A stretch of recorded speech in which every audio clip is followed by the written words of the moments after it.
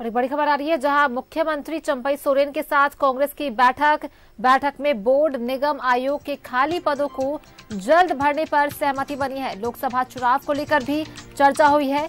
वहीं बैठक में कांग्रेस प्रभारी गुलाम अहमद मीर भी रहे मौजूद। प्रदेश कांग्रेस अध्यक्ष राजेश ठाकुर, विधायक दल के नेता आलमगीर आलम, जेएमएम महासचिव विनोद पांडे, इस, ये सभी शामिल हुए। वही बैठक के बाद कांग्रेस प्रभारी का बयान, खाली पड़े पदों को जल्द भर लिया जाएगा। ये कभी भी घोषित किया जा सकता है। लोकसभा चुनाव में गठबंधन का लक्ष्य मजबूती से चुनाव लड़ने का है। सीटों की संख्या को बड़ा मुद्दा सीटी, सीटों की संख्या कोई बड़ा मुद्दा नहीं है। जो जहाँ मज़बूत है जीत सकता है वो मैदान में होगा।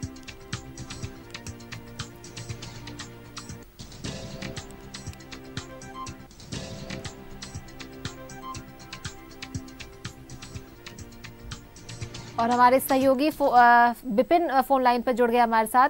बिपिन देखिए ये बैठक हुई है सीएम चंपई सोरेन के साथ जहाँ सभी जो मौजूद रहे हैं अध्यक्ष था, राजेश ठाकुर और कांग्रेस के साथ ये जो बैठक हुई है क्या कुछ इसमें हुआ है? जी देखिए, झारखंड कांग्रेस के प्रभारी गुलाम अहमद मीर ने मुख्यमंत्री के साथ बैठक की है और इस बैठक में राजेश ठाकुर और चंपई सोरेन के साथ जो बैठक हुई, इसमें कांग्रेस प्रदेश अध्यक्ष राजेश ठाकुर, विधायक दल के नेता आलमगीर आलम और जेएमएम के महासचिव विनोद पांडे मौजूद थे और इस बैठक में जो राज्य में खाली पड़े बोर्ड निगम आयोग के रिक्त पद हैं, उनमें जल्द राजनीतिक नियुक्तियों करने के साथ साथ जो आगामी लोकसभा के चुनाव है, उसको लेकर जो सीट को की घोषणा करनी है कि कौन सा दल की सीट पर लड़ेगा और कितनी मजबूती से संयुक्त चुनावी प्रचार होगी, इन तमाम विषयों को लेकर आज ये बैठक हुई है। झारखंड कांग्रेस के प्रभारी और मुख्यमंत्री चंपाई सोरेन के साथ झारखंड मंत्रालय में तकरीबन 45 मिनट तक ये बैठक हुई और इस बैठक में आने वाले तमाम जो चुनाव के साथ साथ महत्वपूर्ण विषय हैं, इन सभी विषयों पर सार्थक चर्चा हुई और इस बैठक के बाद झारखंड कांग्रेस के इंचार्ज ने भी इस बात को लेकर आश्वस्त किया कि जो खाली पड़े बोर्ड निगम आयोग के पद हैं, वो जल्द ही भर लिए जाएँगे। बहुत अगर ज़्यादा विलंब भी हुआ तो एक से दो दिनों के अंदर इसको लेकर सरकार जो है वो अधिसूचना जारी कर देगी। चलिए बहुत बहुत धन्यवाद विपिन, आपका तमाम जानकारी को लेकर। देखिए, आज जो कांग्रेस की बैठक, सीएम चंपई सोरेन के साथ, जहाँ लोकसभा चुनाव को लेकर भी चर्चा हुआ और तमाम चर्चे हुई रिक्तियों को भरने के लिए, पदों को भरने के लिए। बैठक में कांग्रेस प्रभारी गुलाम अहमद मीर भी मौजूद रहे। वही प्रदेश अध्यक्ष राजेश ठाकुर भी मौजूद रहे।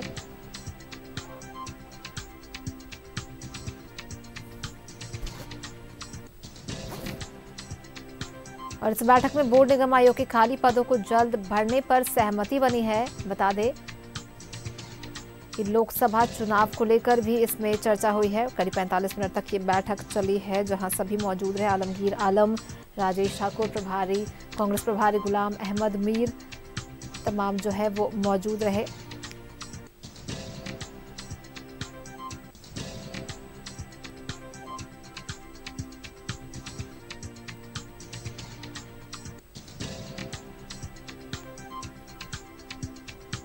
बैठक में बोर्ड निगम के खाली पदों को भरने पर सहमति बनी है। आपको बता दें कि कांग्रेस के साथ ये सीएम चंपाई सोरेन की बैठक, जहाँ कांग्रेस के प्रदेश प्रभारी गुलाम अहमद वीर और प्रदेश अध्यक्ष राजेश ठाकुर, आलमगीर आलम और तमाम जो नेता है वो मौजूद रहे।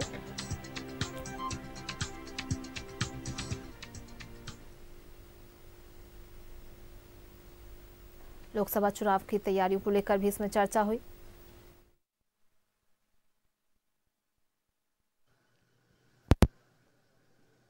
दो तीन दिन से तय हो रहा था आपस में बैठक, मगर किन्हीं कारणों की वजह से उनका फ़ील्ड विज़िट भी था। कल भी हमारी बैठक होनी ज़रूरी थी, पर काफ़ी लेट आए थे, फिर लेजिस्लेचर पार्टी की मीटिंग थी, नहीं हो पाया था।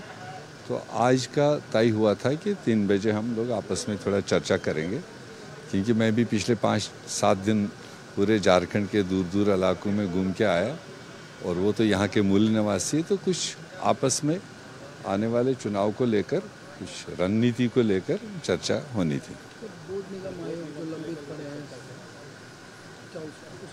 नहीं, वो है, वो ऑलरेडी इनके कंसिडरेशन में जो पेंडिंग है।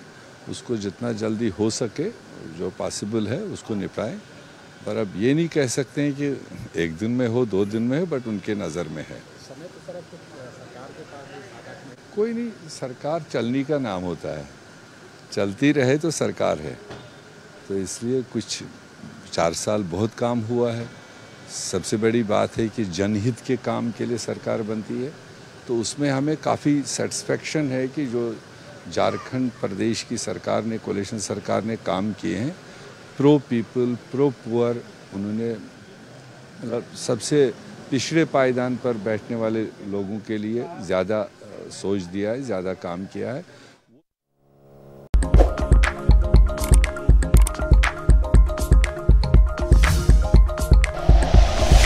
Like and share videos, subscribe करें हमारा चैनल और प्रेस करें बेल आइकॉन न्यूज़ 11 भारत सच है तो दिखेगा।